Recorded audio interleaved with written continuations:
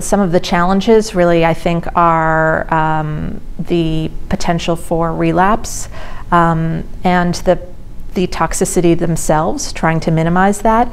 Currently, we give these therapies, um, some of these therapies are administered inpatient because of the risk of toxicity, and it would be great if we could move these therapies perhaps into the outpatient setting. Um, there is one CAR T cell therapy that has been um, given outpatient in, in clinical trials, um, and I think that if more of that could be done, um, that would be great.